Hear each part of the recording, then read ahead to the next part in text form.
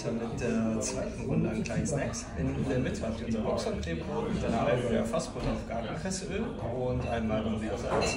In den flachen Schälchen vor euch dazu noch ein Olivenöl vom Gardasee. In den mittelgroßen Schälchen habt ihr zum Trinken einen Krustentiertee mit Orangenöl und Birnenpilzen. Und in den großen Schälchen Tatamago mit eingelegtem unweißen Spargel, einer Dashi-Vinaigrette und einem Frühlingszwiebelöl. Ich wünsche Ihnen guten Appetit. Vielen Dank.